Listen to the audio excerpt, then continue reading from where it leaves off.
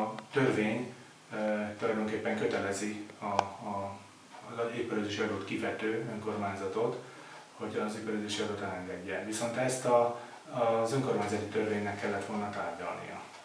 Ellentétben most az alapellátási, tehát az egészségi törvénybe került ez be, és semmi más nem került be, mint lehetőséget ad az önkormányzatoknak arra, hogy az iparüzési adót elengedjék. Tehát ez egy önkormányzati lehetőség lényegében, viszont hivatkozva arra egy önkormányzat, hogy nehéz, pénzügyi nehézségei vannak, stb.